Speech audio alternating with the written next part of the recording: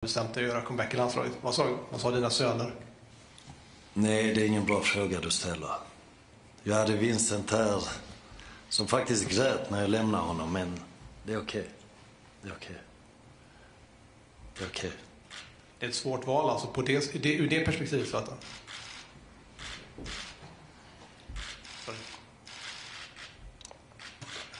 Ja. Det är okej. Kan jag ställa en annan fråga Zlatan?